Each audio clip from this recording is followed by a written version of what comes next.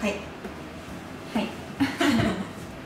はい、今回の動画はですね、まあ、ゆいちゃんがインスタグラムであのどういうレッスンしてほしいかっていうのをあの質問コーナーで募集したんですけど、えっとまあ、それについて、まあ、結構何件ぐらい入ったんだろうね。何件ぐらい来たんだろう。すごいたくさんいただいてて全部できないのであのちょっとそのコメントを読みながらこういうふうに話できればいいなと思って動画を撮っております願いしおます。願いします。あ純ちゃんに選んでもらってあ。それで答えるのがいいか。そうですね。ドライバーがドフックとプッシュアウトと落ち着きません。改善方法をお願いします。ドフックってことはチーピンかな？うん。プッシュアウトだとフェースが開いてるんですけど、うんうん。ドフックだとフェースが閉じてるんで、うんうん。多分その人のフェースのこのヘッド？ヘッドが、ヘッドが多分安定してないのでまずはフルショットじゃなくてハーフスイングでミート率を上げる練習をまずした方がいいです、このドライバーのこのフェースがこうなったりこうなったりしてるので、ハーフショットでこのフェース面ができるだけまっすぐ維持できるように、うんうんうん練習ね、ハーフスイングから練習していきますおおなるほど、まあね、実際こうやって上げちゃうと分かんないもんね。バラバラしちゃってね。みんなねハーフスイングしてみてくださいって言っても結構な確率でものすごい振っちゃうので小さく小さく振ってみて練習してみてくなるほど。この人すごい5個ぐらいこださい何？こ の今の今だよ。5お個ぐらいコメントしてくれてたね、それで言うといろんな方が言っていますがハーフスイングの練習は効果的ですか？効果的です。ハーフスイングでできないことをフルショットでは絶対できないんでうん。ハーフスイングでもプッシュアウトするとかフックするってことはフルショットでも絶対それ出ちゃうのでまずはハーフスイングで出ないように練習するのが大事です。はい。ハーフスイングね。最初にねやっぱやった方がいいですよね、ドライバーとアイアンの握り方が違うのはうん握り方。良くないですか？って握り方はグリップの握り方の話なのかな、うん、ちょっとなんだろう。こうやってやったりこうやってやったりしてるのかあーはなもしかしたら。グリップは自分の体とうん。ゴルフクラブをつなげてくれる唯一の場所なので,、うん。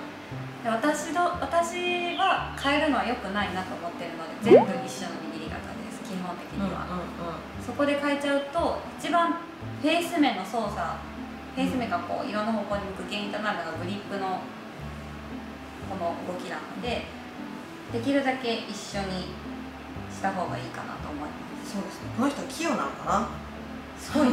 どういうふうなことなの。なね。ちょっと変えてんのかな？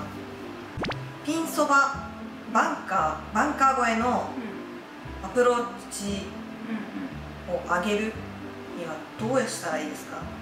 ピンスはバンカー越えのアプローチのロブショットをしたいそうだね。ピン手前でバンカーがあって、まあ上げて打ちたいと、これでも逆に上げなくてもいいのかもしれないけど、まあ、その時の状況によるか。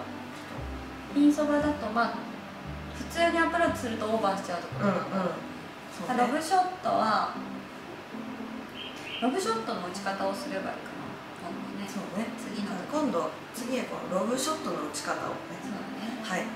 ロブショットが得意なのでおお 確かにこう返す返すからかな。ゆいちゃんどっちかっていうととかそう。そうだね。バンカーとかロブショットとかは全部一緒の打ち方なのなるほどね。じゃあちょっとそれを次回ね。やってみましょう。飛距離があとちょっと欲しい。何かいい方法ありますか？ゆいちゃん的に。ちょっと欲しい。なんかいろいろ多分飛距離アップってなんかスイングなんか方法っていうのなんかみんないろいろ言うけど、まあ、ゆいちゃん的に。うん飛距離まず一番上げたかったら、まあ、ヘッドスピードを上げる打ち方をするのが一番いいと思うんですね、うんうん。うんでヘッドスピードを上げるためにどうすればいいのかっていうと速く振ればヘッドスピード上がるのかっていうとそうじゃなくて、うん。ヘッドが走る動きをしなくちゃいけないので要はためを作るスイングにをすること、うん。ここからこういうふうに振っちゃうと、うん。うんヘッドってヘッドとかシャフトかシャフトってこうためがなくなって一番最悪の状態でボールに当たっちゃうのでうん。クラブをうまく使うためにはシャフトのこのしなりを使ってためを作ってボールを捉えるのが一番飛距離が上がる方法かなと思うんですけどうんうんなので切り返しの段階かな。トップからインパクトまでの切り返しの段階でためを作れるかどうか。ためですねあまあこのためを作るのもすごい今喋るとめっちゃ長くなっちゃうーそうね。じゃあ今度はための作り方。はそうだい。ための作り方いきたい。やりたいと思います。早く振れば飛距離は上がるのかってそうじゃないので、うん。はそこはい。みんな結構うんうん。マン振りすれば飛距離上がるんじゃないかうんうんみたいな、うん上がんないです。なるほどね。飛距離アップのためのため。うというところでちょっと次回撮りたいと思います。パターが思ったラインに出ないです。ん。右に出がちなんですがうん。というコメントが来ております？これははい。ちょっと見てみないとわかんないけど、うん。原因原因というか2つ考えられるのがあって、はい。1つは、ちゃんと打ててるのに右に出てるパターン、うんはうん。構えからして右に向いてしまっている、うん自分の体が目標に向いててさらにそこにフェースを構えるとその時点でもうカップよりも右向いてしまっている、その時は自分の体を目標に合わせるんじゃなくてフェースをまず目標に合わせる。うんうん。のが大事。なのともう一個は単純にプッシュしてるパターン、うんうん。パターでこうここからこうやって押し出しちゃってるパターンが考えられるんですけどパターの練習方法はもうあのパターの練習方法。ちょっと見てみないと分かんないけどどうなんだろうな。そうね。プッシュしてる2本棒を用意してもらって、自分のヘッドよりちょっと広いぐらいの2本の棒を置いてそこの棒の中でスイングする。うんうんうん。私もそれやってた。うん、それが一番えーとまっすぐフェースをまっすぐできる一番近い方法じゃないかなと思います私の今の説明でちゃんと分かるかどうかだけ。じゃあ今度そのパター練習法そうだね。それ私もやってたんですよ。ちゃんあの1 0ンチ1 0ンチ1 0ンチって置いて。そうそうそうそう。そう、ね。そうだね。私の説明が下手すぎる。難しいかも。難しいかも説明が今の。じゃあ次回ね。パターの練習方法も取りたいと思います、はい。PXG アパレルはネット販売ありますか？あーネットはないです。あ店舗に行かなくてなくへてその六本木にあるうん PXG のスタジオ、フィッティングスタジオかうん。大阪にうん。あの PXG が運営してる練習場があるんですけどそこにもウェアが置いてあるらしくあ私は行ったことないんだけど。なるほどね。うちのホームページに PXG の、えーとうん。店舗の URL があるからそこを押してもらうと PXG の住所分かると思いますなるほど PXG のアイアン打感気持ちいいですよね。いやー最高です。PXG はもうアイアンウェッジ最高です。ぜひ一回打ってみてほしいみんな。そうですね。打感いいですよね。フェイスターンは必要か必要じゃないか。あーフェイスターンこれでも人それぞれかな。っていうよりかは考え方的にはフェイスターンをするっていうよりかは結果的にフェイスターンしてたとかの方がいいですね。自分でクラブを操作してフェイスターンさせるんじゃなくてスイング上でフェイスターンしてた結果的に、っていうのが一番。うん。自発的にやるものじゃなくて普通にスイングすれば、うん。フェイスターンは必ずどこかでは起こり得るっていう感じです、なるほど天ぷらしてしまいます。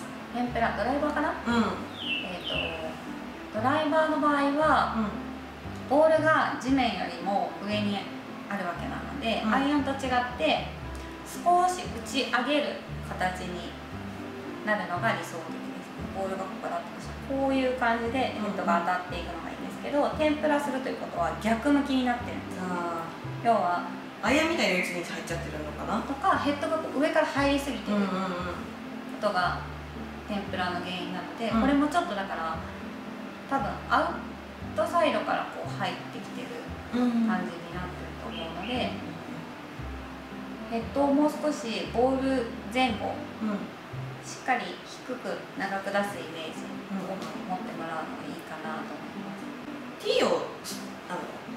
す。下げるっていうのだとでもまあ上から入ってたらそうあ靴ギューンってなっちゃうから。逆にゴロになっちゃうかな。ああそっか。そうそうそうそう。上からパンって叩きつけて、ほどねゴロゴロ。うんうん。うなるべく上がってるところで打てるよううんにしたらいいなってことですよね。はい。ゆいちゃんのねなんだっけダイエット方法。ゆいちゃんのダイエットこれも知りたいけど法。ゆいちゃんのダイエット方法知りたいです。ダイエット方法かダイエット私お酒とかめちゃくちゃ好きなので毎晩お酒飲むんで、うん。うん食事では一切ダイエットをしてなくて、うんうんジムはめっちゃ行ってます。あそうなんパーだソナルと、うん。あとキックボクシングも行くし。そうなんだ。結構行ってるんだね。去年一昨年ぐらいは新エステに1年間通ったりとか、へえあとはまあ骨盤矯正行ったりとか、食べ物とか飲み物で我慢したくないので、うんうんうん。そっちであやってますなので体重を落とすっていうよりかは絞るっていううん。感じの方がなるほど。意外と行ってるんですね。行ってます。ちょっと腹筋割りたいなと思うけど、うんうん。どこのジム行ってもじゃあビールやめてくださいって言われ 確かにビール飲むとさコント出るよね。るお腹ね。そう、うん。ビビールをやめてみたらどうでしょうって言われるけど、うん。そういうこと言ってんじゃないよってそう感じだそうそう。よねビールをやめずに割りたいんだよね、うん。う ん間違いない。そうそうビール飲みたいもんね。そうねゴルフはねやっぱう飲みながらが一番楽しいですからね。はいそうですね。じゃあまあダイエットというか絞ると。そうだね。筋トレ。筋トレをしてください。兄ちゃん筋肉あるもんな。ずっとやってたからね。うんゴルフもね、あこれは？各番手の飛距離どれぐらいですか？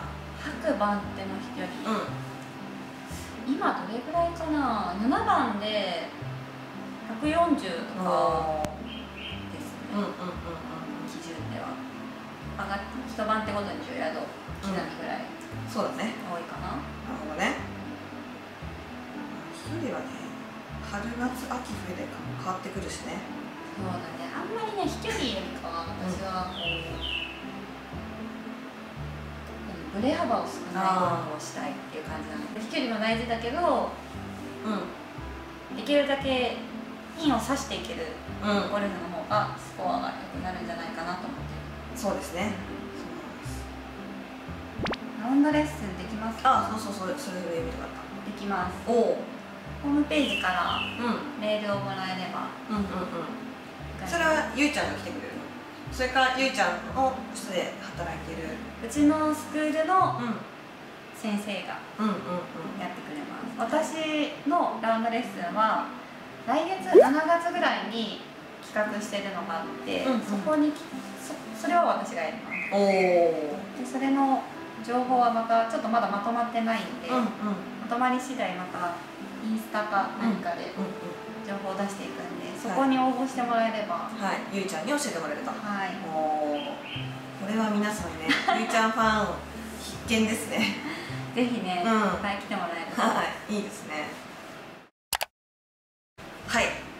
ということでたくさんあのゆいちゃんのインスタグラムにあのコメントをしてくださってありがとうごありざいます。がとうございます。こんな感じでちょっとね、まあ、ゆいちゃんシリーズ増やしていきたいなと 思ってるので、まあ、コメント欄にもなんかこうこういうことやってほしいなとかあったらあの取り入れていきたいと思いますのでぜひコメントよろしくお願いしおます。願いします。はい。あとねチャンネル登録と高評価もよろしくお願いします。じゃあゆいちゃんありがとうございました。ありがとうございました。またねー